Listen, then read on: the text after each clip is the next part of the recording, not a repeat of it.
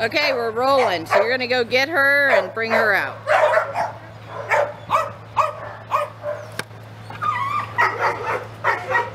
Okay, we're gonna have her put her in that kennel right there, and then that'll be my test kennel. to Get her out of. Picked up all the toys, I think, in the.